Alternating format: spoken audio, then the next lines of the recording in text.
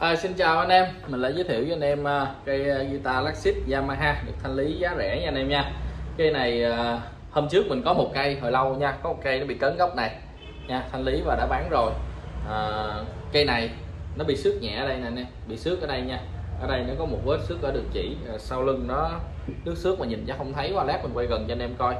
À, nước xước nhẹ nha anh em nha, cũng được thanh lý với giá tốt luôn. Thì những cái đàn này lâu lâu nó mới có một cây thanh lý mình thanh lý với anh em giá rẻ thì nó có một cái vấn đề nhỏ nhỏ vậy thôi nha anh em. Hoàn toàn chất lượng thì không ảnh hưởng gì hết. Anh em nào muốn những cây này mà đẹp luôn thì mình vẫn có thì giá nó sẽ cao hơn nha anh em nha. Đẹp hơn thì giá nó cao hơn tốt hơn giá nó cao hơn. Thì tầm này đứt xước ít ít nhẹ nhẹ thì mình thanh lý giá rẻ cho anh em luôn. Cây này mình đang bán với giá 1 triệu 600 ngàn nha anh em nha 1 triệu 600 ngàn. Chất lượng thì hoàn toàn ngon lành mình bảo hành bình thường nha. À, cần phím thì rất là êm cho anh em mình tập luyện chơi luôn nha. À, hoàn toàn là không lỗi lầm gì nha anh em nha. Nó chỉ lướt xước giống như mình đã đã báo với anh em thôi. Còn hoàn toàn lại là ngon lành hết chất lượng tốt và đẹp hết nha anh em nha. Với lại như vậy từ vì uh, nhiều khi mình giao những cái đàn như vậy có nhiều anh không biết là nói tại sao cái đàn à, này là dây ni lông uh, dây sắt rồi cần lớn cần nhỏ gì kia nha.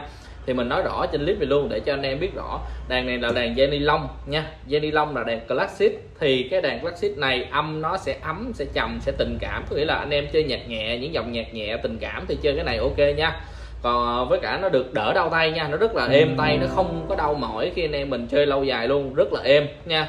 À, chứ đâu phải là những dòng đàn dây sắt những dòng đàn dây sắt thì anh em sẽ đánh sẽ tiếng nó sẽ vang nó lớn hơn nhưng mà nó sẽ đau tay hơn cây này nha anh em nha đau tay hơn cây này. Thì nó khác nhau là sự khác biệt giữa dây lông và dây sắt là như vậy. Còn cái cái cái này anh nhiều anh em hỏi cái này chơi dây sắt được không? Thì anh em đàn của mình muốn gắn sao gắn còn mình là mình gắn theo đúng như cái hãng họ sản xuất đúng như cái tiêu chí họ muốn sử dụng dây ni lông để cho anh em mình chơi nhẹ êm chơi nó ấm tiếng thì chơi dây ni lông nha anh em nào muốn gắn dây sắt gỡ dây ni lông ra sọt dây sắt vào đây chơi. Thì mình có tư vấn cho anh em rõ ràng nha. À, lúc nào vậy chứ không phải mình giấu giếm cho anh em. Khi đàn ni lông mà anh em gắn dây sắt thì cái độ bền và tuổi thọ của đàn nó sẽ giảm xuống nha. Cái này là chân tình mà nói với nhau thường chả ai nói đâu. Tại vì đàn của ai hư gắn chịu chứ không liên quan đến nhau nha. Còn này là mình đàng hoàng. Cho nên khi mình bán cho anh em một cái đàn mình tư vấn cho anh em rất là rõ ràng gắn vô uh, thì tuổi thọ nó sẽ giảm đi nha. Chất lượng thì bình thường không ai nói với anh em vấn đề đó đâu nha. Bình thường thì không ai nói đến đâu. Uh, hư kệ hư của ai phải hư của mình đâu đúng không? Cái này là mình bán đàn cho anh em cho nên mình có cái trách nhiệm đó. Mình thường mình sẽ nói mà nhiều khi mình nói rồi cái anh em nghe cái anh em lại sợ này kia suy nghĩ tùm lum hết đó à, ờ, nó nhiều ra nhiều vấn đề khác. Còn nếu như những chỗ khác người ta không nói với anh em đi thì anh em về anh có biết đâu cứ vậy gắn dây sắt vô chơi thôi đúng không? Nè sọt vô đây chơi với mình hồi xưa đi. Hồi xưa đàn uh, à, thời ông cha ta chẳng hạn như là các anh các chú hồi xưa lớn á thì thường là những cái đàn này là đều gắn dây sắt vô chơi hết thì tiếng nó sẽ vang hơn nha anh em nha. Thật sự những cái đàn này gắn dây sắt vô nó sẽ vang nó lớn hơn những cái đàn dây sắt bình thường luôn. Cần nó rộng để cho các anh đánh nó thoải mái hơn nha đúng không? Cần rộng thì đánh nó thoải mái đó. Thì thì gắn dây sắt vô chơi thôi.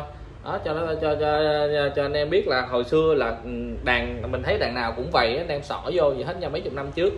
À, rồi các anh các chú hồi xưa chơi là đàn sàn sỏi dây sắt vô quýnh không à?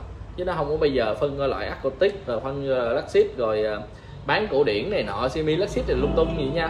À, hồi xưa ít đàn anh em ít chỗ bán cho nên ờ, cái giới hạn của những cây đàn nó rất ít lắm. Cho nên cây nào cũng vậy sỏi dây vô chơi thôi. Còn bây giờ mình phân loại ra cho nên hơi khó. Tóm lại là như vậy. Đàn này êm êm tay nha anh em rất là dễ chơi. Dòng laxit êm tay dễ chơi âm nó ấm nó trầm chứ nó không thể vang lớn nha anh em nha. Nó không phải là loại quýnh âm âm âm ầm đâu. Cái này là quýnh tình cảm nhẹ nhàng. À, mình sẽ quay gần. Mình test cần phím test âm thanh cho anh em coi nha. Mời anh em đăng ký kênh để theo dõi các bài đăng tiếp theo của mình. Cảm ơn anh em nhiều. Rồi anh em coi gần đàn nè. Mặt top của đàn đẹp nha anh em nha. Đó, mặt tớp khá đẹp. Mình quay cho anh em coi là đẹp rồi đẹp.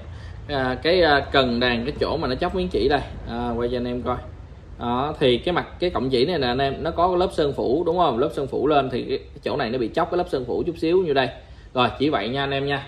Rồi mặt cần mình quay mặt cần cho anh em coi. À, action cần phím cái này thì nó rất là êm nha anh em nha. Rất là êm. Đó. Rất là êm. Lưng đàn như hồi nãy mình nói với anh em có vài vết nước xước nhỏ nhỏ. Đó à, đây nè. Thấy không? Nó nhỏ lắm nhỏ đến mức mà chắc mình mình mình soi ở ngoài thấy quay clip chưa chắc anh em đã thấy nha. Nó lờ mờ lắm anh em rất là lờ mờ nha. Đó, chỉ vậy thôi nha anh em. Đó mình quay để, để gần cho anh em coi đó. Anh em soi soi quá nó nhỏ quá nhìn không thấy. Đó. rồi eo đàn thì đẹp rồi. Eo thì có vấn đề gì để nói luôn anh em. Eo bên đây luôn. Rồi đo cái action cho anh em coi. Action của đàn thì cực kỳ là êm tay luôn nha. Dây số 1 là thấp hơn dây chuẩn rất là nhiều nha anh em. Dây số 6 nha thấp hơn dây chuẩn rất là nhiều đây. Rất là êm. Rồi test cần phím anh em coi. 6 giây.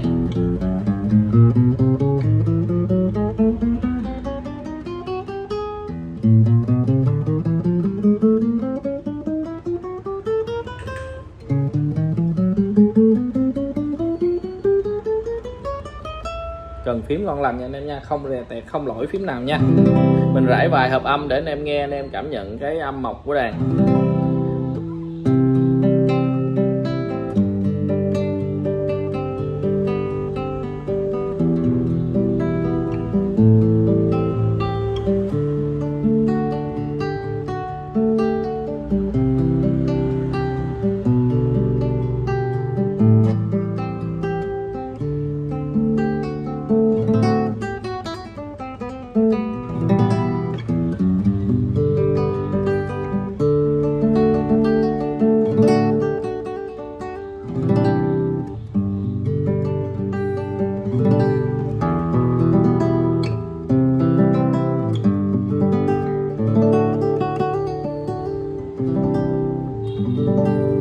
Chất lượng ngon lành anh em. Ngoại hình đẹp ơi là đẹp luôn. Chất lượng tốt, âm hay. So với tầm giá 1 triệu 600 ngàn thì nó quá tuyệt vời đó. Nhưng ngoại hình lại đẹp nữa nha. Thông tin cửa hàng và số điện thoại mình để phần tiêu đề và phần mô tả anh em có thể xem trực tiếp trên góc màn hình cũng có. Mời anh em đăng ký kênh để theo dõi các bài đăng tiếp theo của mình. Cảm ơn anh em nhiều.